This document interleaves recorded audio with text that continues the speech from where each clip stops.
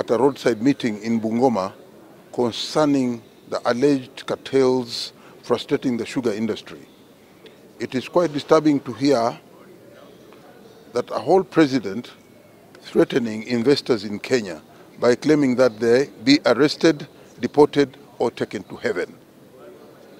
What message is the president sending to investors who are not explicitly supporting him? Does it mean that if your political views differ with the president, then you risk falling short of this wrath, of his wrath?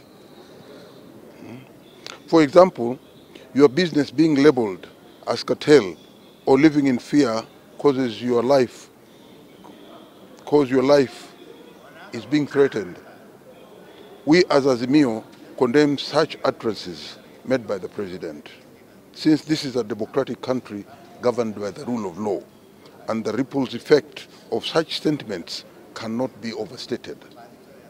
The Constitution of Kenya 2010, under Article 27, demands that every person has the right to life, and the president, being the chief of the armed forces, has a duty to preserve and protect each and every one.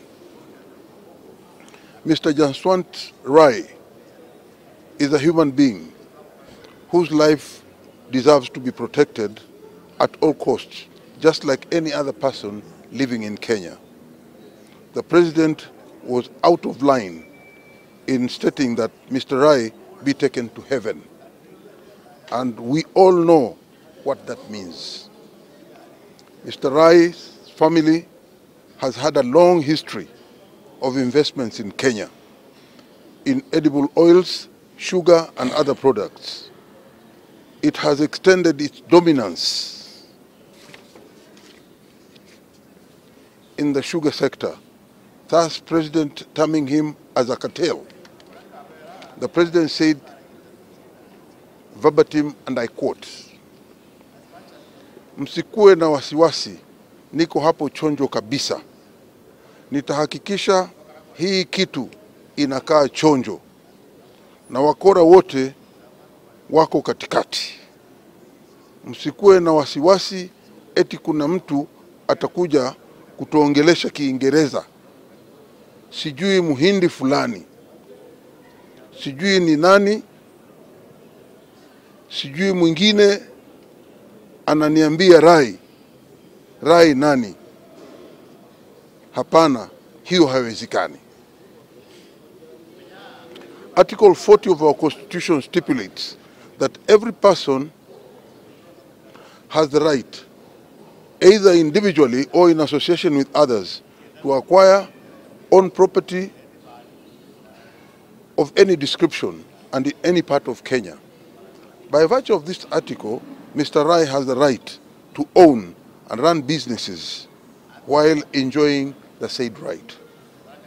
Even though Mr. Rai is being accused of frustrating the revival of sugar industry, there are better ways to address this other than the president of a democratic country issuing callous threats by the roadside.